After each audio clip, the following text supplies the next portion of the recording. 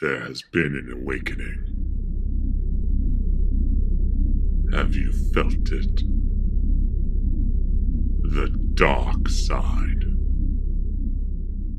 of Undertale.